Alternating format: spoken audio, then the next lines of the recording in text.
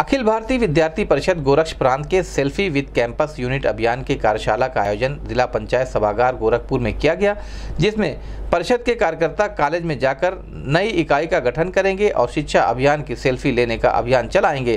कार्यशाला में अखिल भारतीय विद्यार्थी परिषद के प्रकाशन प्रमुख मनोज कांत, प्रांत अध्यक्ष डॉक्टर राम शरण शाही प्रांत मंत्री भूपेंद्र सिंह, महानगर मंत्री सौरभ गौड़ सहित अन्य पदाधिकारी और कार्यकर्ता मौजूद रहे। इस संबंध में गोरखपुर न्यूज़ से बात करते हुए अखिल भारतीय विद्यार्थी परिषद के प्रांत मंत्री भूपेंद्र सिंह ने कहा। अखिल भारतीय विद्यार्थी परिषद विश्व का सबसे बड़ा छात्र संगठन है। ऐसे संगठनों के लोग जब जब दुनिया के किसी दूसरे देश में जाते हैं और ऐसे बहुत से प्रसंग भी आए हैं कि जब उन देशों में इसकी चर्चा चली तो उन्होंने यही बताया कि दो पर हैं। हम नंबर दो पर हैं। उनकी आपस की लड़ाई नंबर दो की है। नंबर एक सबने विद्यार्थी परिषद को मान लिया है। इसलिए कोई कहने वाला भी नहीं है कि आप नंबर एक नहीं है। अनुकूलता एक चुनौती।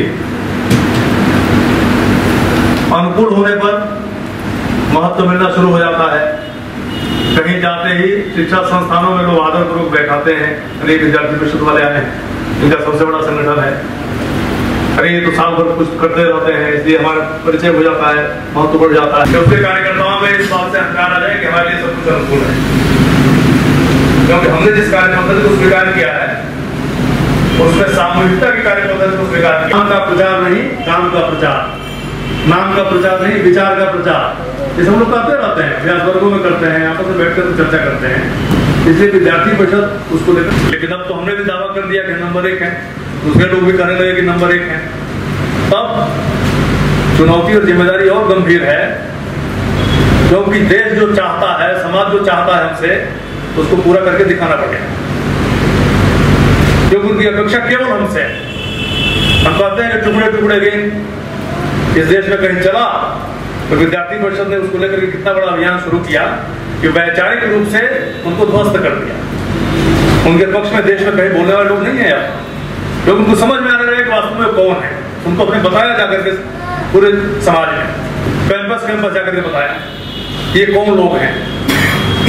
तो उसी तरह से जो परिवर्तन का काम दिखना चाहिए सकारात्मक परिवर्तन, रचनात्मक दृष्टिकोण लेकर परिवर्तन जिसकी बात हम करते हैं बार बार, अपनी सैद्धांतिक भूमिका में, उसका विस्तार तीव्रता के साथ होना चाहिए, प्रभावशाली तरीके से होना चाहिए, गुणवत्ता आनी चाहिए, कार्य में स्थायित्व आना चाहिए। हमारा काम तो बहुत बढ़ गया। जानने वाले देश भर में हो गए।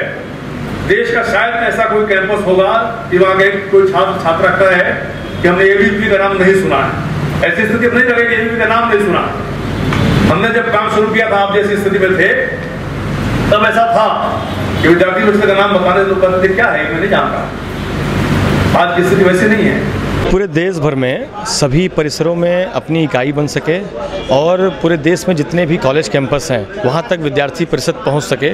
इस नाते एक सेल्फी विद कैंपस यूनिट करके अभियान विद्यार्थी परिषद आने वाले एक अगस्त से दस अगस्त तक चलाने वाली है, जिसकी तैयारी के लिए अपने प्रांत, गोरक्ष प्रांत जो अपना है, ग्यारह जिलों के जो ग्यारह जिलों का प्रांत है, उसके सभी कार्यकर्ताओं का प्रांतीय कार्यशाला चल रही है, जिसमें हम तैयारी करेंगे कि हम कैसे इस अभियान को आने वाले समय में चलाएँगे। जी, विश्वविद्यालय, महाविद्यालय, टेन प्लस टू और जो अन्य टेक्निकल कॉलेज हैं, मेडिकल कॉलेज हैं, सभी उसमें आते हैं। हम सभी परिसरों तक इस अभियान को चलाएँगे और इस अभियान के ज़रिए हमारा लक्ष्य है कि देश के 100 प्रतिशत कैंपसों में हमारी पहुँच हो सके। हमारी शिक्षा के अधिकार को लेकर हमारी लड़ाई हमेशा चलती है। विद्यार्थी परिषद छात्रों का संगठन है और शिक्षा के क्षेत्र में काम करता है। लेकिन जब हम सभी परिसरों तक पहुँच सकेंगे, तभी हम वहाँ की समस्याओं को समझेंगे और तभी वहाँ की लड़ाई लड़ेंगे। इस नाते से ये अभियान हमारा लक्ष्य है कि पूरे देश के पचास हज़ार से ज़्यादा कैंपसों तक हमारी पहुँच हो सके। और वहाँ अपनी इकाई गठित करेंगे, वहाँ मेंबरशिप कराएँगे और वहाँ की समस्याओं को उठाने का काम करेंगे। पूरा हो जाएगा ये अभियान तो एक अगस्त से दस अगस्त तक चलेगा, पूरे देश में एक साथ।